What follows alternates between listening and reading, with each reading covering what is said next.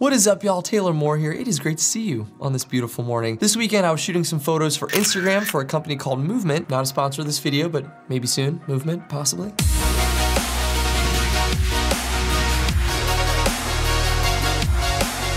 And I thought it might be fun to spice up my Instagram post a little bit by taking a product photography shot and applying more of a panorama multi-photo approach to it on Instagram. It's pretty cool, right? Something different, something you don't see every day in product photography. Well, after doing this, I thought, I could take this to the next level if I were to use the optimal Instagram 5x4 aspect ratio, but it is a little bit more complicated in the editing process. So today, we're moving fast and we're gonna see if we can knock out a tutorial on how to do this in just under a few minutes. Let's dive right in. So first things first, we of course need to edit the photo and then we need to size it properly to chop it up into the total number of photos we want. I personally like to do all my photo edits in Lightroom Classic. So jumping in there, I'm using a preset as my base, in this case from Peter McKinnon's latest collection, and editing it to fit the project. So after quite a number of tweaks and adjustments and hue shifts, that's right about where I want it. So now that the main photo is done, we need to lock in that correct aspect ratio to set it up to be chopped up for this multi-photo post. The optimal ratio to take up as much of that real estate on the Instagram timeline as possible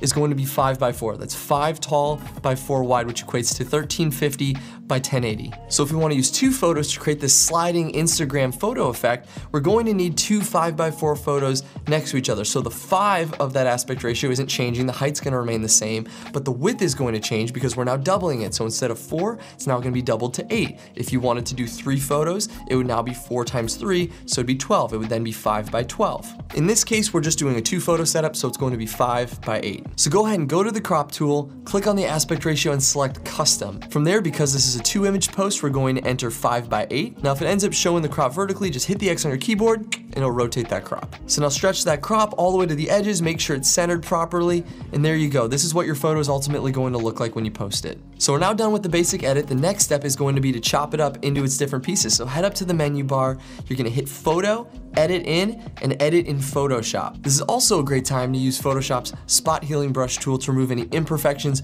or blemishes in your photo before we go ahead and chop it up and export. Now for the easiest part. In the left-hand bar, you'll see the crop tool. Click on that, hold it to reveal the drop-down menu, and choose the slice tool. We're now clicking and dragging over the entire image, so you'll see a yellow box show up around the entire photo with some small icons in the top left corner. Right-click on those icons and click Divide Slice. We're dividing this vertically, so go ahead and check the Divide Vertically Into box and type the number two for the number of slices. Now, if you prepped your photo's aspect ratio for three photos, go ahead and enter three here. If you prepped it for four, enter four, and so on and so forth. The slicer tool is now going to automatically divide your photo vertically into that number of sections, so making sure you get that aspect ratio correct at the beginning is going to be crucial. Go ahead and click OK, and look at that, divides your photo equally into the number of sections needed to create your Instagram post. So we're pretty much all wrapped up now. Now all we need to do is export each of those individual slices. So go ahead and go to File, Export, Save for Web. This is going to be the most straightforward slice export method. Set your file type to JPEG. I reduce the quality to 80% just to reduce the file size,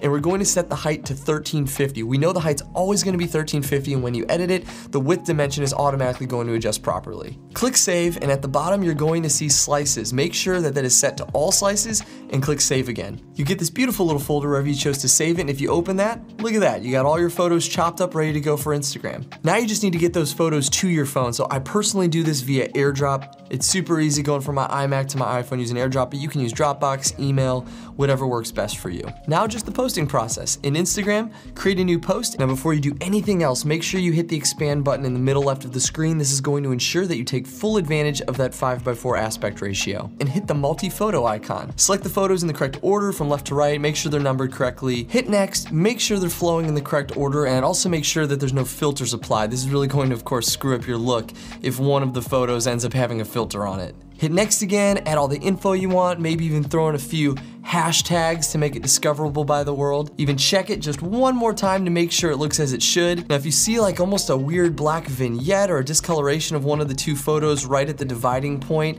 this does happen sometimes. I'm not sure why. It happened to me only once, but it wasn't visible when I ended up actually posting it. And that is it, y'all. Seamless multi-photo posts optimized for the 5x4 aspect ratio, and it's scalable if you want to use three photos, four photos, or even more than that. Get out there and give it a try. Use the hashtag TM4K tutorial so I can see what you guys create. Come out with me and follow me on Instagram. I'd love to see you guys out there, and I'll catch you in the next video.